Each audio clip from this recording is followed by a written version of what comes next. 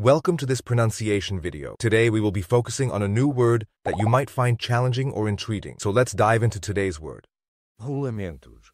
which means, Mechanical components that reduce friction between moving parts. let's say it all together. Rolamentos.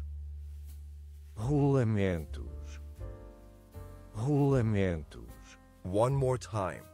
Rolamentos. Rolamentos.